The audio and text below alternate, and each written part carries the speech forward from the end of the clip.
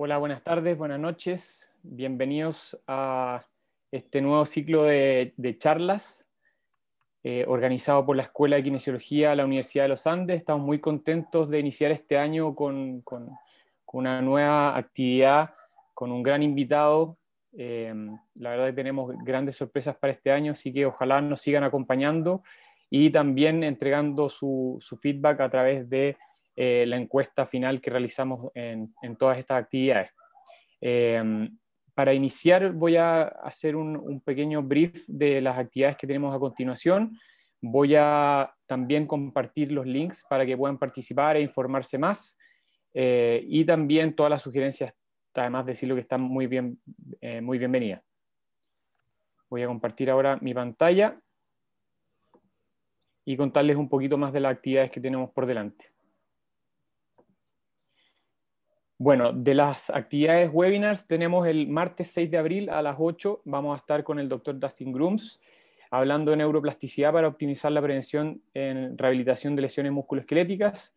Eh, el doctor Grooms, eh, muy eh, connotado en el área de las neurociencias, ha realizado su doctorado en relación a lesiones de ligamento cruzado anterior y proceso de neurociencia, así que va a ser una actividad muy, muy interesante para que todos puedan participar. Es una actividad abierta a todo público.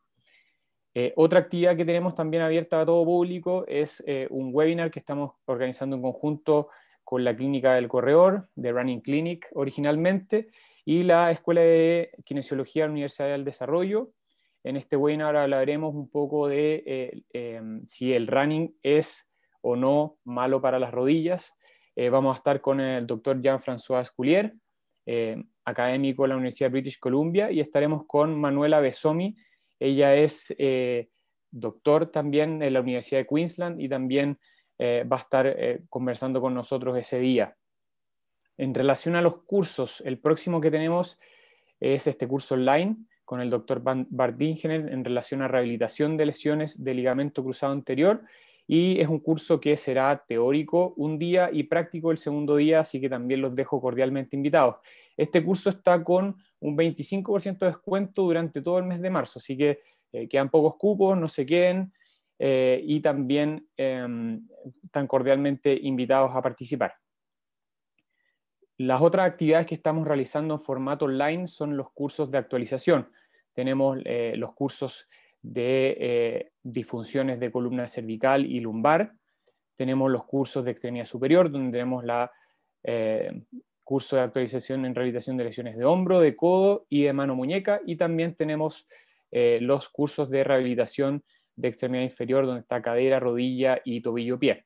Estos cursos son, eh, como les decía, en formato 100% online. También va a haber sesiones en, vivo junto con los eh, docentes.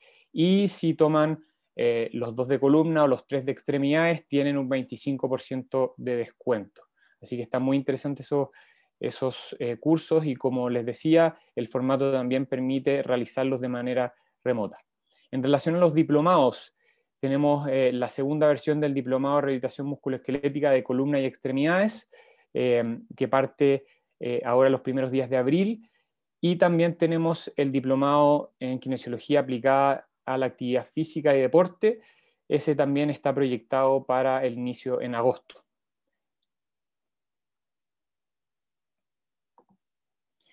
Bien, ahora a lo que nos convoca. Voy a presentar a, eh, nuestro invitado del día de hoy. Eh, él es el doctor Danilo de Oliveira Silva. Él es kinesiólogo, es de nacionalidad brasileña y actualmente se desempeña como investigador postdoctoral en la Universidad de La Trobe en Melbourne, Australia. Específicamente la, la Trobe Sport and Exercise Research Center. Su investigación está centrada en la biomecánica, los factores psicológicos y características del dolor en personas con disfunciones de rodilla. Cabe destacar que su tesis doctoral, dirigida por el doctor Christian Barton y Fabio Acevedo, fue premiada como la mejor de 2020 en Brasil, con el premio más prestigioso entregado por el Ministerio de Educación del país. Eh, bueno, Danilo cuenta con, más de 50 publicaciones indexadas y es editor asociado de la revista BMC Sport Science eh, and Rehabilitation.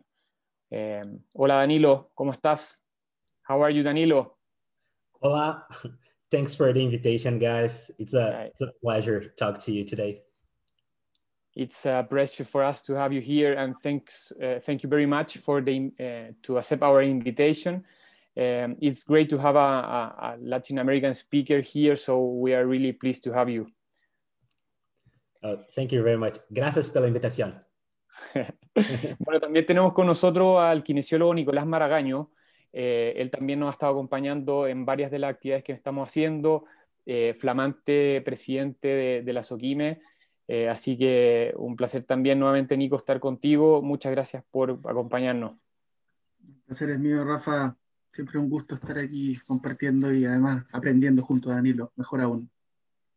Bien, entonces el formato de, de, este día va a ser con una presentación de Danilo y la idea es que ustedes después eh, eh, hagan sus preguntas, eh, cosa que podamos ir resolviendo todas las dudas y, y, que vayan quedando la presentación y dudas que también tengan de, la, de, las, de los artículos de Danilo o en relación a esta temática en particular. So Danilo, we are ready to, to see your presentation. So whenever you want, please, you can share your screen.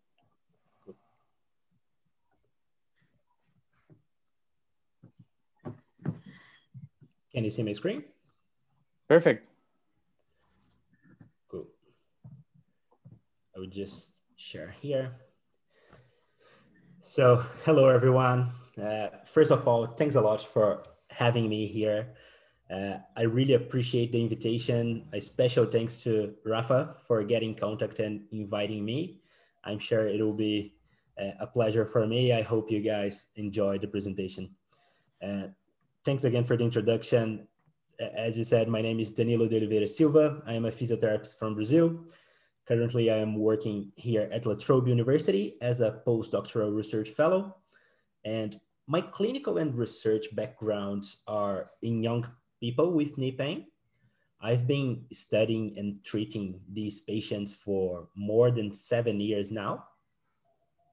And today my presentation will cover a topic that I investigated in my PhD, that is the integration between biomechanical and psychological variables in patients with patellofemoral pain. Uh, Hola, hope, sorry, sorry, Daniel, to interrupt you. I'm going to translate now. no, no worries. I will slow down. Hola a todos, muy buenas noches. Primero que todo, gracias por la invitación. Para mí es un placer estar acá compartiendo con ustedes y en especial quiero dar las gracias a Rafael por la invitación. Así que ahora les vengo a contar un poquitito de lo que he estado investigando. Yo he trabajado los últimos siete años con pacientes que tienen en realidad una, digamos que están en la adolescencia con dolor de rodilla y voy a hablarles un poquito de mi PhD, de cómo estamos integrando el trabajo entre la biomecánica o la psicología del dolor patelofemoral, cómo se puede integrar todo esto en la práctica.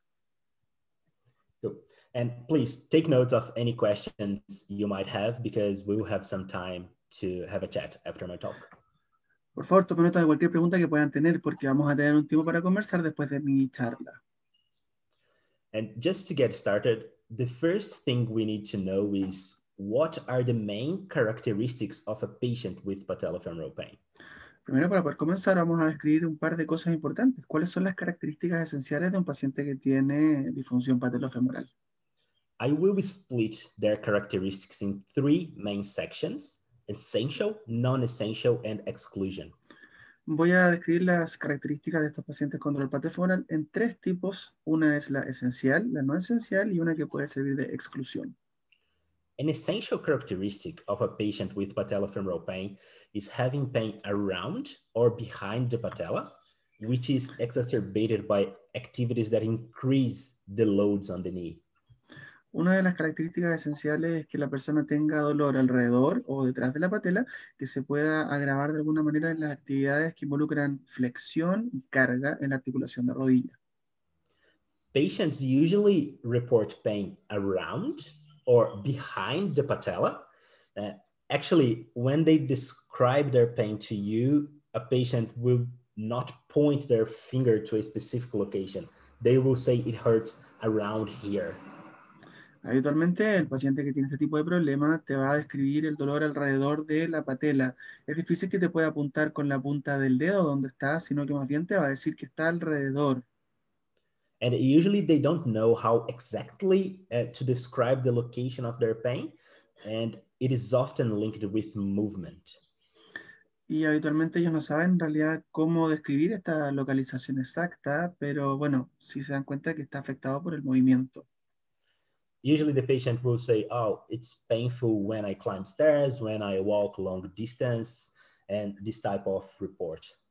Habitualmente lo que te van a comentar dentro de las características subjetivas es que les duele cuando suben o bajan escaleras, cuando caminan a una larga distancia o este tipo de comentarios y reportes. So this is the classic presentation of a patient with patellofemoral pain. Now I will talk about some clinical signs that may or may not be present in these patients. Estas serían las características esenciales que se pueden apreciar más comúnmente, pero ahora vamos a hablar de algunas otras cosas que pueden o no estar presentes en el paciente. The first one is crepitus or noisy knee. Not all people with patellofemoral pain have crepitus, but some may have. So this clinical sign uh, may or may not be present in patients with patellofemoral pain. Una de las cosas que primero vamos a describir es la presencia de crépito. No todas las personas tienen ruido articular o ruido alrededor de la patela, es algo que puede estar presente o no, pero es uno de los signos que se considera aquí como no esencial. The other non-essential sign is tenderness or hypersensitivity on patellar palpation. El otro signo clínico es la sensibilidad a la presión o que tengan en el fondo síntomas cuando están haciendo presión ahí en la patela. A lot of people think that if a person has patellofemoral pain, uh, a patellar palpation will be painful. Actually, not always. Many patients have movement-related pain, but not pain on palpation. Muchas personas creen que la palpación es una de las características importantes, pero son muchos los pacientes que no tienen problema en la palpación y en realidad tiene que ver más con un agravante el movimiento que con el tocar. And this is very interesting. But again, most patients will indeed have pain on patellar palpation, but not, not, all, not all of them. Así que bueno, muchos de ellos pueden tener algún tipo de dolor en la palpación, esta sensibilidad a la palpación, pero no son todos. Another clinical sign is effusion. This is not a main characteristic of patients with patellofemoral pain, but some patients may present a very small effusion. Otra de las características que puede ser un signo es la efusión. No es algo que esté presente en todas las personas, pero en una pequeña población puede estar presente. It's also very important to highlight that in this presentation today, I'm not referring to patients that have had patellar dislocations or subluxation. Es importante destacar que en la presentación del día de hoy yo no me voy a referir a los pacientes que han tenido algún tipo de traumatismo como una luxación en la rótula. Eh, usually a patellar, sorry. Usually a patellar dislocation is related to a traumatic event and these patients should be managed in a different way. Habitualmente la luxación o dislocación de la patela tiene que ver con un antecedente traumático y eso habitualmente se puede tratar o manejar de otra manera. And the reason is that most scientific studies, they exclude this type of patient. So the evidence I will present today cannot be used for these patients. Y la principal razón de todo esto es que los, los principales investigadores o ciencia que existe hoy en día alrededor de este tipo de problemas excluye a los pacientes que han tenido una luxación y por ende no se puede aplicar todo a ese tipo de población. Okay, that now that you know what patellofemoral pain is, how the typical patient will present to you, it's time to show all the factors associated with patellofemoral pain and how complex it can be.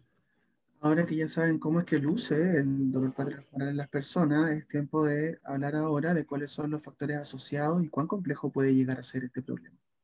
For a long time, we thought that patellofemoral pain was essentially due to biomechanical factors. Por mucho tiempo pensamos que el dolor patellofemoral tenía que ver esencialmente con factores biomecánicos. For example, weakness in the hip and quadriceps muscles, excessive knee valgus, or foot pronation. Por ejemplo, debilidad muscular en las caderas, el valgo exagerado o también la pronación exagerada del pie. And these factors, they really exist. But recently, we have also seen that patients with patellofemoral pain may also present some psychological alterations. Y estos factores de alguna forma sí pueden estar presentes, pero también nos hemos dado cuenta en investigaciones recientes que los factores psicológicos pueden ser importantes o están presentes también. And these characteristics make the management of these patients much more challenging and should be considered in the assessment and treatment. Y estas características hacen que el paciente que tienen que tratar sea mucho más desafiante y son características que tenemos que considerar cuando estamos hablando de la historia y en el tratamiento también. In terms of movement alterations, many studies have shown that patients with patellofemoral pain may present changes at the trunk, hip, knee, and foot compared to pain-free people. En términos de alteraciones del movimiento, algunas investigaciones se han centrado en destacar que pueden existir alteraciones en el tronco, en la cadera, en la rodilla o en la pierna en general con el movimiento en este tipo de pacientes. The most consistent alterations are excessive hip adduction, reduced knee flexion, and excessive rear foot eversion. Las alteraciones más comunes son el exceso de la aducción, la disminución de la eversión del tobillo pie y también la disminución de la flexión de rodilla. Back in the early 2000s, a commonly accepted theory for the development of patellofemoral pain was that the vastus medialis muscle was delayed in relation to the vastus lateralis. En los años 2000 y cerca de esa ese tiempo, en el fondo, una de las teorías más aceptadas era que el vasto medial tenía una inactividad o tenía una actividad tardía para lo que debería ser su función normal en este tipo de pacientes. And these would lead to a patellar lateralization, which would increase the lateral patellofemoral joint stress.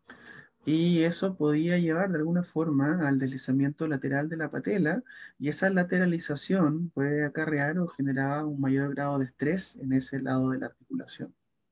However, some studies have found that this delay between patients uh, with patellofemoral pain in comparison to pain-free control and other studies have not found this. De todas formas, vale destacar ahora que en otros estudios no se ha podido demostrar esta correlación también que tienen en el fondo pacientes versus otras personas que no tienen ese tipo de problema en relación a la actividad tardía del músculo vastomedial. And regarding movement pattern, many studies reported that patients with patellofemoral pain perform functional tasks with a reduced knee flexion.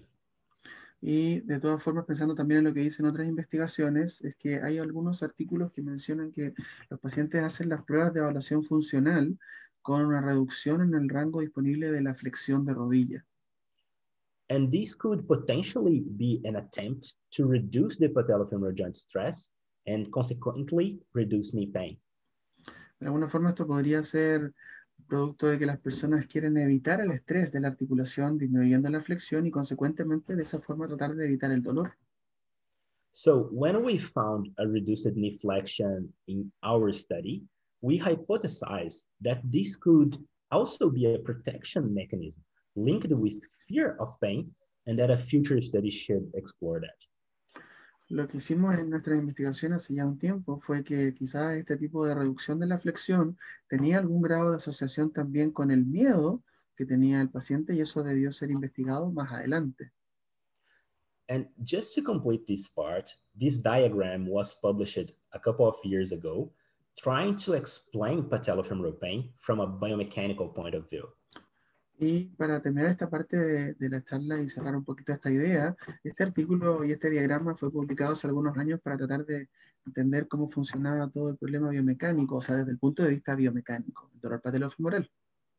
It basically, basically says that all biomechanical alterations lead to an elevated patellofemoral joint stress that causes pain.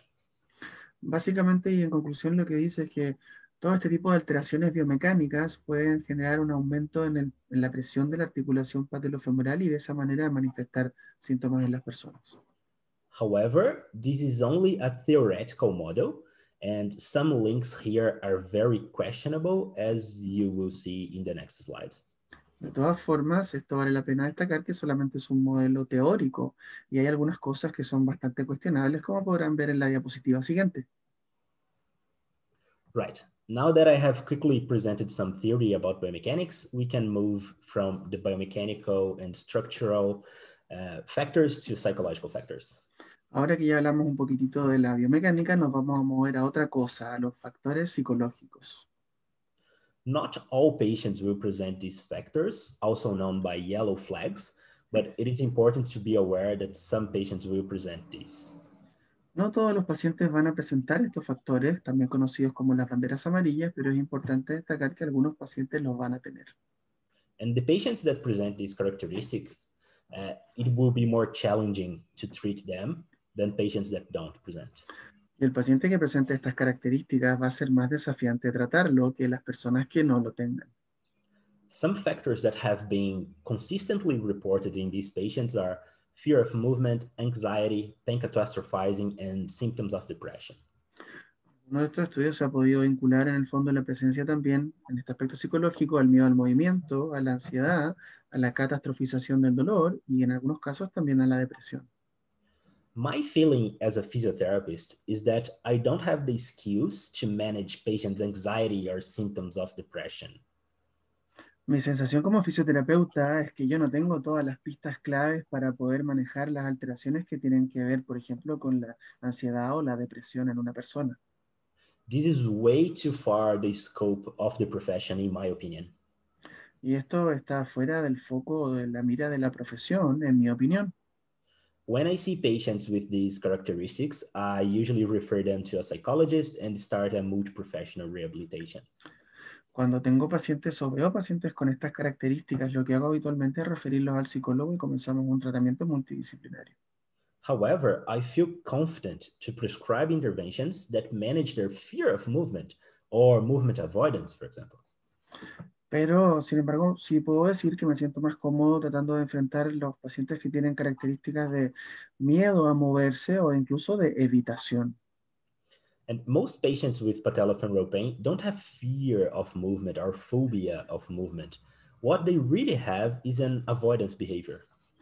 Lo que tienen muchas de estas personas con dolor patelofemoral, de hecho, no es miedo a moverse, sino que más bien adoptan una conducta de evitación. That type of patient that choose to use the elevator or the escalator instead of walking up or down the stairs because taking the stairs, the stairs might hurt their knees. Ese tipo de persona, por ejemplo, prefiere tomar las escaleras mecánicas o el ascensor en vez de subir y bajar la escalera porque piensan y han sentido en otras oportunidades que el subir y bajar las escaleras les puede doler. It doesn't mean they are afraid of taking the stairs. They just avoid it.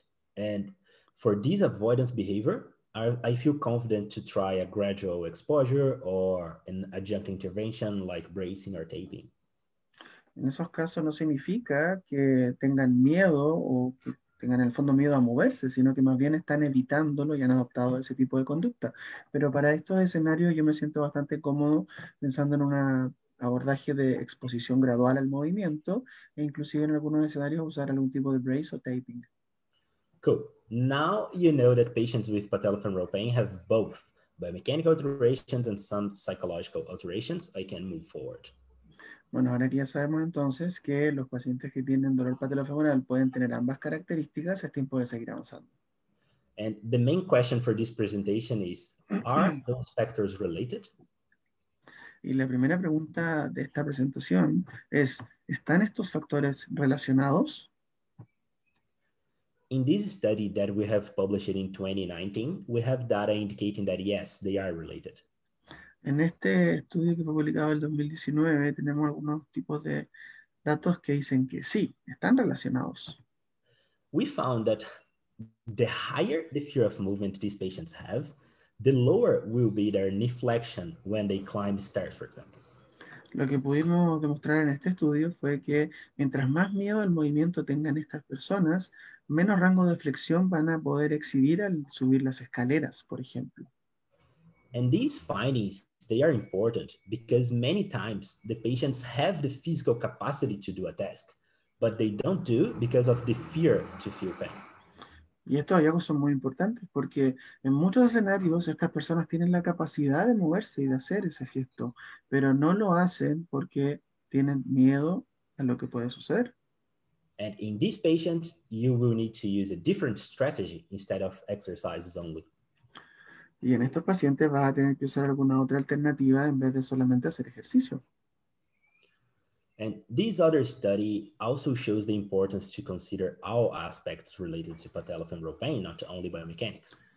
Y este otro estudio también plantea lo importante que es examinar algunos otros tipos de aspectos y no solamente la biomecánica en estos pacientes.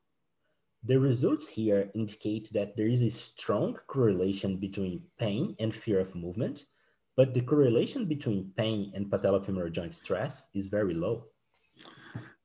En este estudio se demuestra que hay una correlación entre la kinesiofobia y la función, pero lo que no se puede demostrar es que tenga una correlación con la cantidad de estrés o carga de la articulación patelofemoral. So for the sample of this study, psychological factors play a bigger role than biomechanics. Para ejemplificar con lo que aparece en este artículo en particular, los factores psicológicos jugarían un rol más importante incluso que los biomecánicos. Do you remember the diagram I showed linking patellofemoral joint stress to pain? Our data support that. ¿Recuerdan el diagrama que les mostré que trataba de vincular el estrés de la articulación patelofemoral al dolor? No hay suficiente información para poder concluir eso. All right. Now that we have explored somewhat of the complexity of patellofemoral pain, I'm sure you agree that it is unlikely that only one intervention will address all factors. Ahora que ya hemos podido hablar un poquitito más de lo complejo que puede ser la presentación de un paciente con dolor patelofemoral, podemos también entender que es poco probable que la persona responda simplemente a una intervención. There are many factors involved in this condition that are important to be considering in the rehabilitation. Hay muchos factores involucrados en esta condición que son importantísimos de considerar en la rehabilitación de una persona.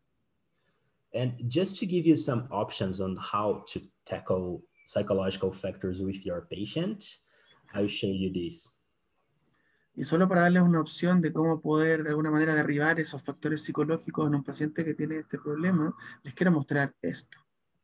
We have published a study last year where we found that a simple knee brace can reduce the fear of movement of patients with patellofemoral pain. Publicamos un estudio el año pasado que un tipo de rodillera sencilla puede disminuir el miedo que tienen los pacientes al movimiento cuando tienen difusión o dolor patelofemoral. So this may be a good strategy to help patients to do exercise if they are fearful of pain or fearful of movement. Así que esto puede ser una intervención útil en una persona que tiene miedo a que le duela o tiene miedo al movimiento para que sea capaz de hacer los ejercicios. And we didn't choose the brace because of its biomechanical effects. We actually uh, we chose the cheapest one in the store. Y no elegimos el brace en este caso pensando en los potenciales efectos biomecánicos, sino que más bien elegimos el más barato que existía en la tienda. Other strategy that is quite effective is the graded exposure. Otra estrategia que puede ser también muy efectiva es la exposición gradual. For example, if your patient is fearful or avoiding stairs because their knee hurts, try asking them to step up one or two steps instead of the whole staircase. Por ejemplo, si tu paciente tiene miedo y síntomas cuando está haciendo estos gestos en las escaleras, en vez de pedirle que suba completamente una escalera, pídele que suba un peldaño a la vez o que suba como mucho primero dos. And if they are still not confident enough, ask them to step a book on the floor and go for there. Slowly help them to build their confidence. Y si están muy sensibles como para atreverse a hacer esto con los peldaños, primero que entonces utilicen un libro y que puedan desde ahí comenzar a construir su confianza para poder conseguirlo. So this was a short snapshot of the evidence we have in relation of biomechanical and psychological factors, just to start our conversation. Así que esto ha sido solamente una pincelada, un pequeño pantallazo de todo lo que sabemos hoy día, mezclando la biomecánica con los factores psicológicos en lo que estamos hoy descubriendo en las personas con dolor patelofemoral para comenzar la conversación. I hope that was helpful and thanks again for, for listening to this talk. And I'm happy to chat over and reply to any questions that you may have. Así que muchas gracias por haber estado escuchando atentamente esta presentación y ahora yo me voy a quedar también conversando con los colegas, así que espero que tengan preguntas para que podamos conversar. Excellent, Danilo. Thanks, Danilo. Great presentation. So we will start the, the Q&A. Vamos a empezar la sección de preguntas y respuestas. Eh, antes de continuar, por favor, no olvidar de completar nuestra encuesta que nos sirve mucho para las próximas iniciativas, los próximos webinars, así que por favor no la olviden. también abrimos una sección nueva para que ustedes también sugieran eh, posibles invitados a futuro. Así que por favor no lo olviden. Bien, um, so I will ask you the first uh, question regarding the, um, the population. We know that uh, females are uh, more prevalent uh, regarding males. So what, why do you think this, this is uh, about? Why, why, what are the factors that you relate more women um, instead of men uh, regarding the numbers? Yeah, th this is a good question. Women are twice more likely to have patellofemoral pain than men. Esta es una buena pregunta. Las mujeres tienen dos veces más posibilidades, la probabilidad de desarrollar dolor patellofemoral que los hombres. It is very debatable, but there is no scientific study proving why this happens. Es bastante debatible, pero no hay muchos estudios científicos probando de por qué existe o pasa esto.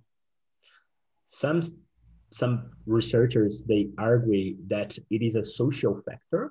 For example, women they sit crossing their legs, elevating a dynamic valgus and the patellofemoral joint stress in their knees. Algunos autores plantean que puede ser incluso un factor relacionado más a ámbitos sociales o socioculturales, que las mujeres se sientan de manera diferente, elevan la rodilla, la flexionan de otra forma, aumentan el estrés en la articulación. Other people say that women use high heels. Otras personas dicen que puede ser que haya alguna relación con el uso de taco alto. Some people say that it's because the key angle, that a woman has a higher key angle, uh, elevating the dynamic valgus as well. En otros casos también investigadores plantean de que se debe a que las mujeres tienen la pelvis más ancha y eso además acarrea muchas veces un ángulo de valgo mayor en la rodilla. And then hormonal factors, uh, they have different muscle composition than men. So a lot of speculations, but not a clear answer. Y también pueden existir algunos tipos de factores hormonales, pero en realidad hay mucha especulación y todavía falta mucha claridad en este ámbito. Thanks a lot, Danilo, for your answer. Muchas gracias por tu respuesta. Eh, Danilo, so we we will continue with the uh, uh, question that uh, Rodrigo and Gaston are, are making. It's really similar, the question. So uh, they are asking um, the use of the brace for the patient. Maybe it could um, make some dependence regarding this, uh, this use. What do you think about this? Estoy preguntando en relación a, al, al, dolor patulofemoral y el uso del brace para, como, como parte de esta exposición graduada como, como herramienta útil para, para disminuir la kinesiofobia o el miedo al movimiento. That, that's a great question, and I don't like to create these dependence. Es una gran pregunta y debo destacar que a mí no me gusta generar dependencia. That is why in my clinical practice, I only use it during the sessions for the patient to do the tasks I want them to do or the exercise I want them to do. Vale la pena destacar que yo lo hago con mis pacientes durante la sesión, cuando quiero que hagan una tarea o algún tipo de ejercicio durante la sesión. I don't recommend them using the brace like for, for their life, only for the exercise when they are feeling pain. Yo no se los recomiendo para el uso de su vida, sino que más bien para el ejercicio cuando estén sintiendo algún grado de dolor. So that I think Danilo would be the important part of education and educating the patient because it will be the start of the process only as long as they have symptoms and they can understand that they can gain confidence and muscle strength. Absolutely. And in, in our study, we showed that the brace reduced the fear of movement, but it didn't improve the function of the patients. Yo le estoy comentando que en el fondo ahí vale la pena destacar lo importante que es la educación, porque es lo que vas a comunicar al paciente y quizás te va a servir como una pincelada en el tratamiento en la etapa inicial para que pierda el temor. Y de hecho, Danilo dice que exactamente a eso se refiere porque ha demostrado disminuir el miedo al movimiento, pero no es que cambie el funcionamiento de la rodilla, de hecho, el usar un brace. Thank, thanks a lot for, for the answer, Danilo. Uh, so uh, Matthias here, he's asking uh, regarding the use of PFR um, in any change of physiological or pain, acute pain in PFP I, re I remember a study from Jill Cook's uh, group that they, they, they study this. What, what do you think about this? Entonces estoy preguntando en relación al uso del BFR, si genera beneficios fisiológicos o también en relación al dolor agudo. I, I, think it is helpful uh, based on Jill Cook's study. It was conducted here at La Trobe, actually. Creo que puede ser útil. De hecho, ese estudio del grupo Jill Cook fue conducido acá en la Universidad de La Trobe, en Australia. In, in patients that have the like a lot of pain in the knee during exercises, you can use this strategy to for them to do the exercise with less pain. En los pacientes que tienen mucho dolor en la rodilla, puede usar esta estrategia para hacer el ejercicio sin necesidad de que tengan el dolor. in my clinical practice, I, I, don't have the skills to use it. I don't actually know how to use it, but uh, I know people that use and the evidence supports its use. Dice que él no lo utiliza en la práctica, de hecho que no lo usa porque tampoco sabe usarlo, pero que sí conoce a gente que lo utiliza y que tiene respaldo en la evidencia científica. Thanks, Danilo. Eh, other question here that is uh, made from Vale, Vale Ripoll. Um, she's asking if you have any patients with PFP, but without biomechanical alterations. So ella está preguntando en relación a si ha tenido pacientes con dolor patelofemoral, pero sin alteraciones biomecánicas. Uh, this, question, this question is so good because I, I had this question before and we did a paper uh, to answer this question. Esta pregunta es muy buena porque yo tuve esta pregunta y de hecho me llevó a hacer una investigación para poder responderla. And in, in this paper, what we found, like we looked to many, many people with patellofemoral pain looking for alterations in the trunk, hip, and foot in the same population. De hecho, en el estudio, bueno, hemos visto estudios en los que en una población se han buscado alteraciones en el tronco, en la cadera, en la rodilla, en diferentes partes. And we found that all people with patellofemoral pain have at least one biomechanical alteration. Y en esa población en particular nos dimos cuenta de que todos ellos tenían al menos una alteración biomecánica. And 50% of the, of the sample of the population had at least three alterations. Y el 50% de esa población de estudio tenía de hecho tres alteraciones biomecánicas. So you may find someone with no biomechanical alterations, but it, it will be very rare. The common thing is to, to find some, some alterations. Así que puedes encontrar a alguien que no tenga, pero el hallazgo común es que tenga aunque sea una en la práctica. And it, it is very important to say, if we, if you find these alterations in your clinical assessment, it doesn't mean you need to modify it or that this will help your patient. So we don't know this. Y es súper importante destacar que a pesar de esas alteraciones biomecánicas, eso no significa que tengas que modificarlas para poder ayudar a tu paciente. Actually, I think, Danilo, that that would be very difficult to achieve. yeah, uh, absolutely. Because most of the time you're helping patients and you're reducing their pain and reducing their, their fear, and you're not changing their biomechanics. Exactly. Yeah, that, that is the point. Eh, I'm going to translate that a little bit. Eh, le estoy diciendo también como reafirmando lo que está diciendo Danilo de que la mayoría de los pacientes de hecho puedes darte cuenta que hay alguna alteración, pero que no hace falta que se modifique eso, porque de hecho es muy difícil de modificar para conseguir un resultado. Te das cuenta que puede disminuir la discapacidad, que disminuye el dolor y que aumenta la función, y que siguen teniendo la rodilla en valgo, por ejemplo. you understood that, right? yeah. So, so now we will move uh, a bit from uh, the adult population. Here's a question from uh, Silvina, very interesting, regarding the adolescent and, and uh, uh, its adolescent and childs uh, that present also with the PFP. what do you think, or what, which is your experience regarding this population, and if you have any any experience with your studies regarding this population?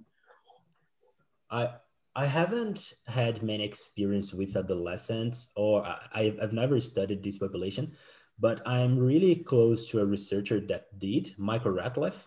Uh, he had he published many papers in, in adolescents. Yo no he estudiado esta población directamente, pero soy bastante cercano a un investigador y colega que sí lo ha hecho, que es Michael Ratliff. And he has done some like brilliant studies and he's really helping adolescents in Denmark that have knee pain. So I'm familiar with some of his research findings. Él tiene algunas investigaciones con estas poblaciones en estudios en Dinamarca, así que yo estoy familiarizado con los resultados de sus artículos. One of his, his results that really impressed me was that he was studying adolescents with 12 years old, and they reported to have knee pain like three years before that. So since nine years old, that's crazy. Uno de los artículos y hallazgos importantes en los que estudió la población adolescente es que tenían pacientes que tenían 12 años y estaban teniendo dolor desde hace tres años atrás. O sea, imagínense, puede comenzar a los nueve años, es una locura. Perfect. So here have a, um, a quote from uh, Romina, going back to, to, to woman. Eh, volviendo a las mujeres, también hay una acotación de Romina que ella dice en relación a la prevalencia de ansiedad y depresión en mujeres que es mayor en hombres. So she's saying that the anxiety and depression um, prevalence is, is uh, huge in uh, women than in men. So what do you think regarding this? It, it would be a factor? Probably. Uh, like I'm not sure. When we talk about depression, I think depression is a bigger issue than patellofemoral pain. Mm, en realidad pensemos que la depresión probablemente sea un problema mucho mayor que lo que significaría el tener dolor patellofemoral. I have no evidence to support this, but I don't believe that depression is a risk factor for patellofemoral pain. No tenemos evidencia para esto, pero yo no creo que sea la depresión un factor de riesgo para el desarrollo del dolor patelofemoral. But I believe that people with depression and with patellofemoral pain, the patellofemoral pain would make the depression much worse because it's another pain in the body.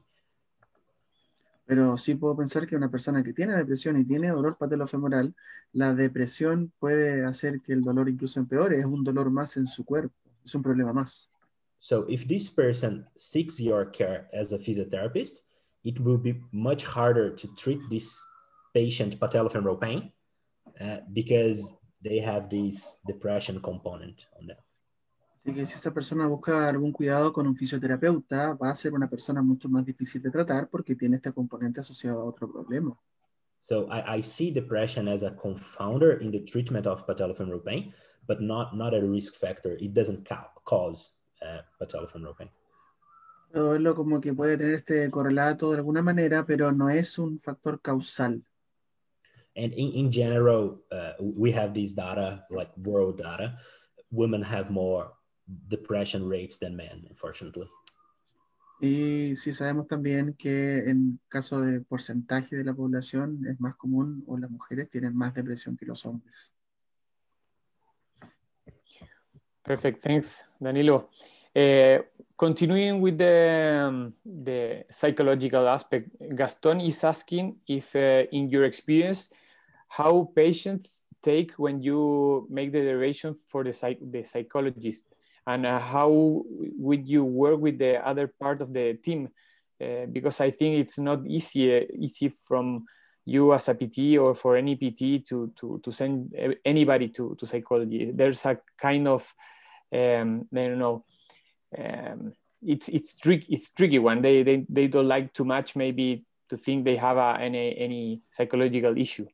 Entonces le estoy preguntando a Danilo en relación a la experiencia con derivación a pacientes al psicólogo, porque obviamente que es complejo, no todos lo toman de buena forma.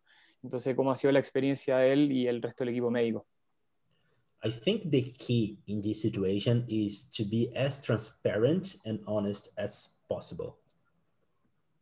Lo, lo que dice que es una consideración muy importante es ser lo más transparente posible. And use the evidence into your favor. Usa la evidencia a tu favor. Uh, I have uh, a questionnaire, uh, a depression questionnaire that I ask the patients to complete before starting any treatment. Yo le pido de alguna forma a los pacientes que me llenen un cuestionario que tiene que ver con depresión, inclusive antes de comenzar cualquier tratamiento. And this questionnaire has some cutoff points. Y estos cuestionarios tienen unos puntajes de corte. When they are in the cutoff point that is like basically not diagnosing them, but indication indicating they have depression. Está el puntaje de corte que puede indicar que tienen depresión. I, I explain them the questionnaire and I show, look, this score here indicates you are feeling depressed. Uh, I'm not capable of handling this.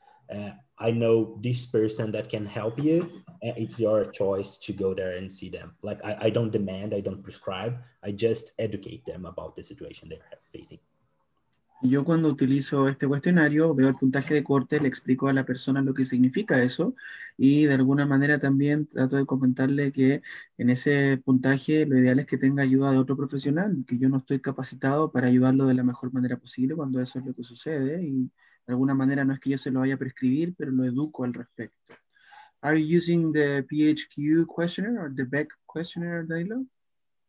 No, I, I use a questionnaire that's called Kastler. It's widely used here in Australia.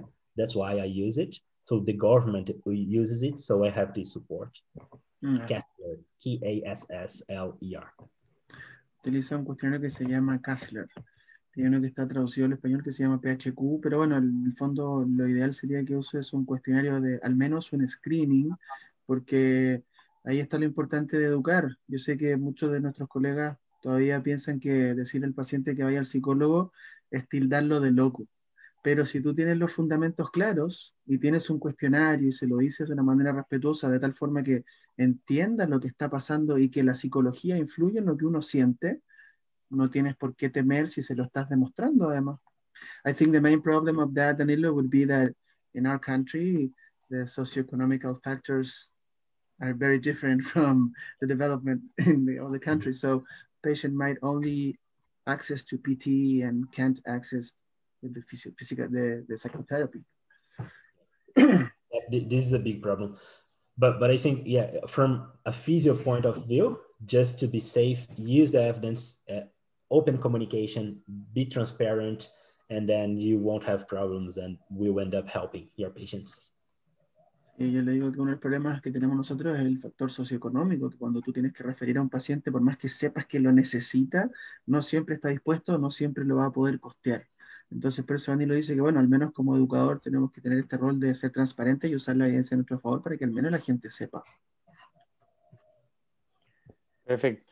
So continue with the question, Danilo. Um, here, Andres, he's asking um, if PFP is a diagnosis by exclusion. What are the main uh, differential diagnoses that you will have in mind uh, facing uh, these kind of patients? And the other question he's doing is regarding the consensus from 2018. Um, in uh, various in interventions, they say that tape have no effect in therapy. Entonces estoy preguntando lo que hizo, lo que dijo Andrés acá en relación a si el do dolor patelofemoral es un diagnóstico por exclusión. Eh, ¿Cuáles serían los diagnósticos diferenciales que él tendría en mente? Y también en relación a la consideración del tape, eh, porque lo que dice el consenso del 2018 es que no, ten, no tendría mayor efecto en la terapia.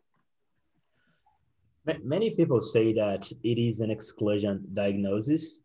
Uh, I, kind of agree with that, but uh, it, it's so simple to pay attention to the history of the patient. It will scream at you like PFP here. De alguna forma, muchas personas piensan eso, que puede ser de exclusión. Yo de alguna manera comparto esto, pero en otros casos puede ser más evidente con la presentación. Esto es dolor patelofemoral. Yeah. Uh, the, the main things that may be confounding to patellofemoral pain is patellar tendinopathy. But in the patellar tendinopathy, the patient will point at you like it's hurting here. This is the main difference. Una de las cosas que puede confundir o de alguna manera ser semejante en la presentación es la tendinopatía patelar, pero en la tendinopatía patelar el paciente te puede apuntar donde le duele y eso generalmente es cerca o alrededor del tendón. But a knee injury like a ligament injury or a meniscus injury, they have like key characteristics that you, you will be able to differentiate. Pero si estás pensando en lesiones ligamentosas o en lesiones meniscales, tienen características clave que debería ser capaz de diferenciar. For example, a, patient with a meniscus injury, they will say at some stage, their knee is blocked. Oh, it was hard to, to move. This is not a characteristic of patellofemoral pain. So you excluded meniscus and said this is PFP. But yeah, I, I think it is not always like this.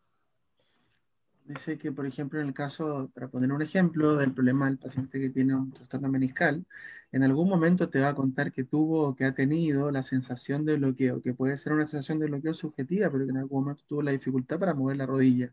Y eso es algo que no te tiene que contar o no te va a contar el paciente que tiene dolor patelofemoral.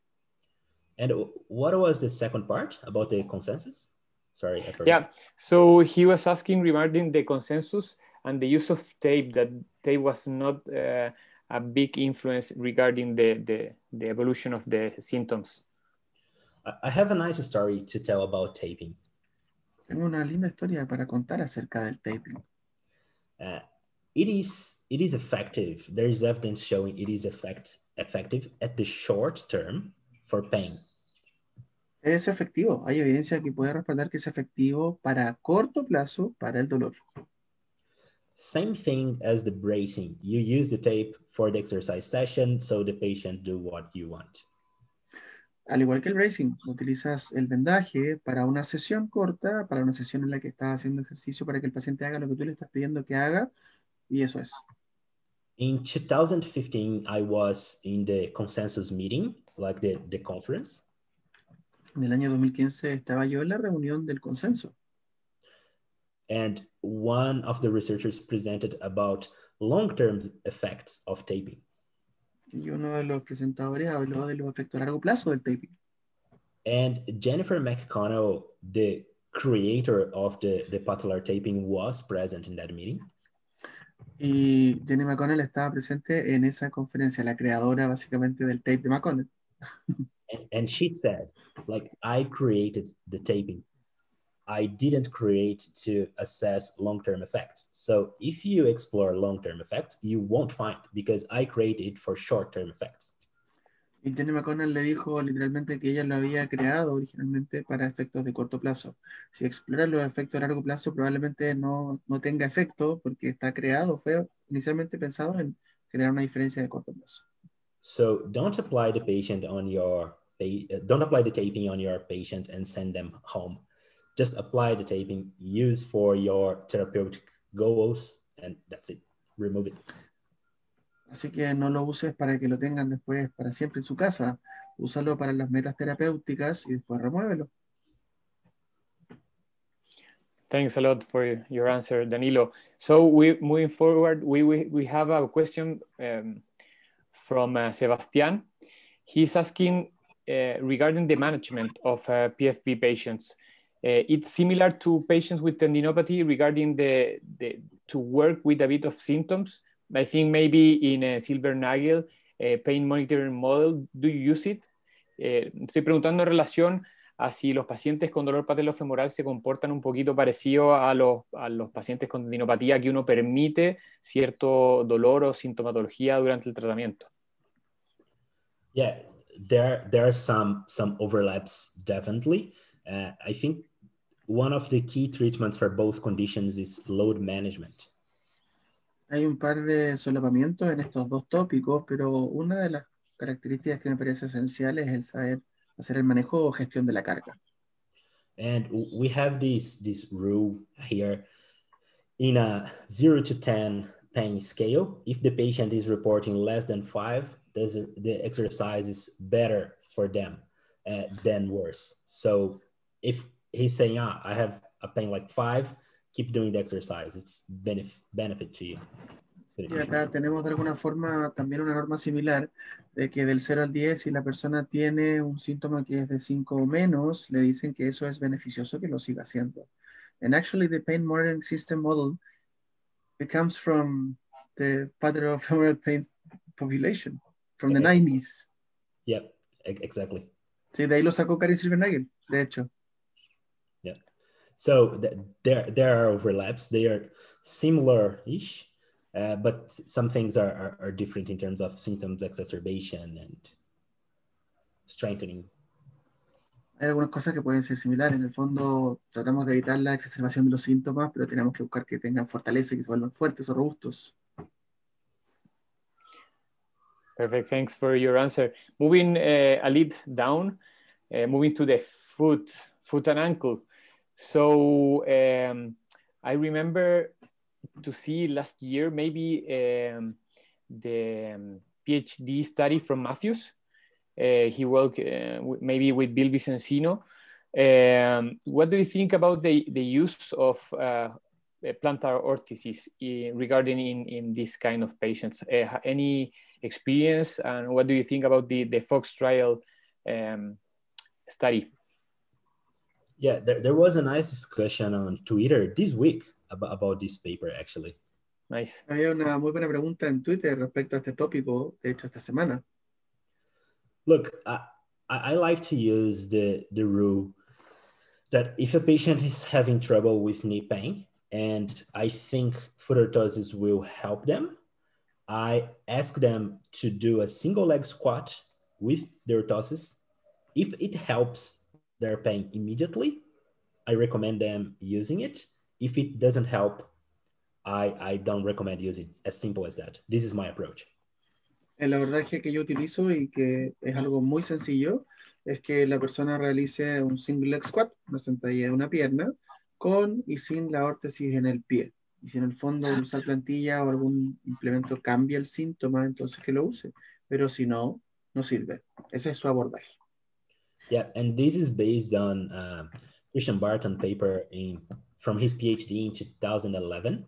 Uh, he found that one in four people will benefit from foot orthosis.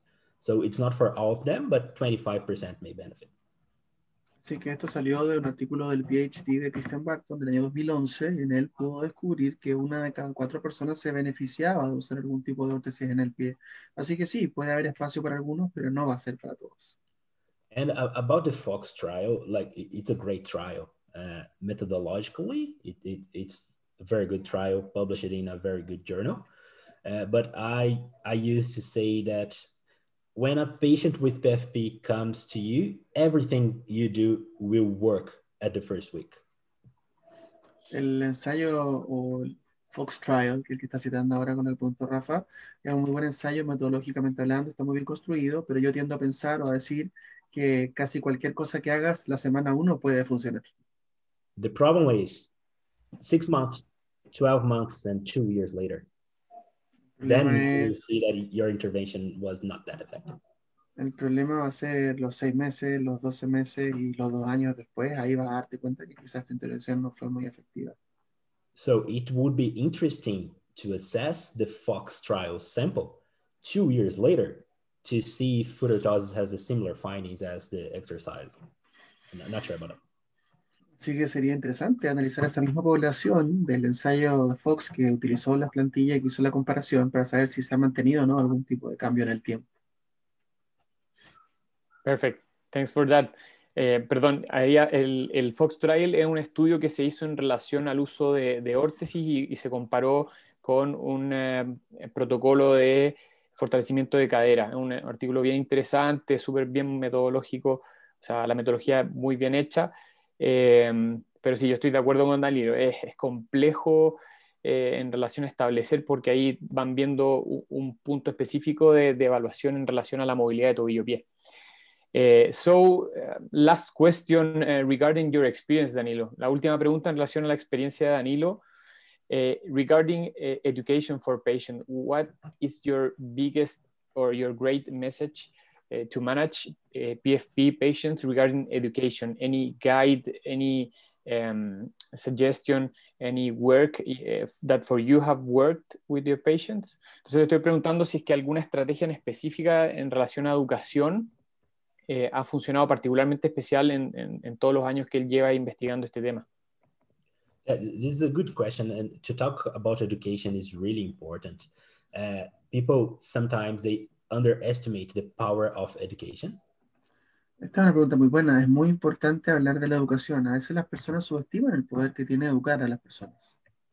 We have published a systematic review last year in JOSPT uh, showing that therapist facilitated education, so education by physiotherapists, uh, has similar uh, effects than exercise. Hicimos una revisión sistemática hace un poco tiempo en realidad que trataba de comparar o investigar cuáles eran los efectos que tenía la educación y la educación que puede entregar un terapeuta puede tener efectos similares al del ejercicio.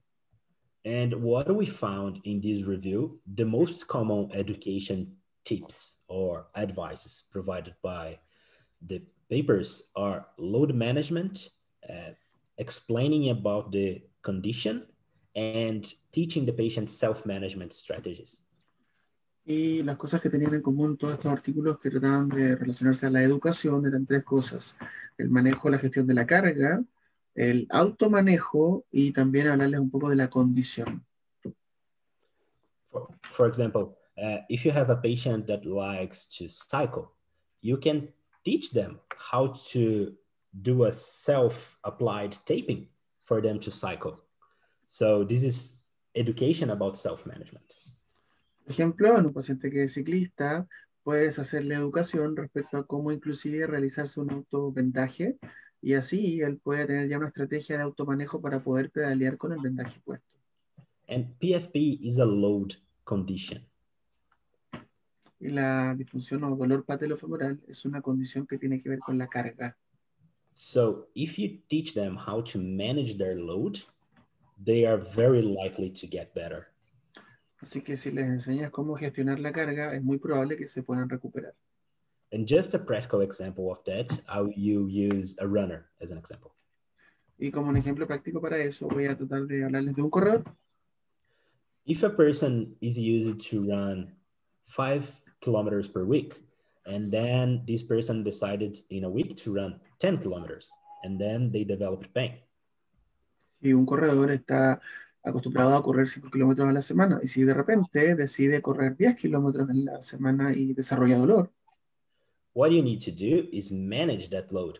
Probably this person won't be able to run 5Ks anymore in the first weeks because they are in pain. So you can reduce to three times a week of 2Ks. So you manage the load. They keep running, but in a smart way. De alguna manera este paciente, si está sensible después de lo que hizo tratando de correr 10 kilómetros, es probable que no pueda correr los 5 kilómetros porque tiene dolor. Pero una manera inteligente de manejar esto sería que, por ejemplo, le permita o le diga que corra un par de veces a la semana dos kilómetros. So the take-home message about education is explain about the condition, showing the, the first infographic I showed, like the psychological aspects, the, the, the overload aspects, and then the biomechanical aspects, load management and self-management. So explaining about the condition, load management, self-management. I think these are the three take-home messages for education. Así que los mensajes más importantes para llevarse a la casa son el hablarles un poco de la condición. Pueden para ello usar la infografía o alguna de las imágenes como con las que comencé esta charla. Después de eso, la gestión de la carga y el automanejo. Perfect. Well, Danilo, we are getting to the end of this presentation. We are really pleased to have you here, uh, sharing with us the, your time. Um, muito obrigado. We hope to, to have you soon uh, again with us, maybe a, a future uh, course. Uh, muchas gracias pela invitación. Uh, no, very, very happy to, to talk to you guys and sorry that I couldn't speak in Spanish, but I, I, I'll get better. I'll get my Spanish better. Entonces, agradecerle a todos, también agradecerle especialmente a Nico por, la excelente traducción, como siempre.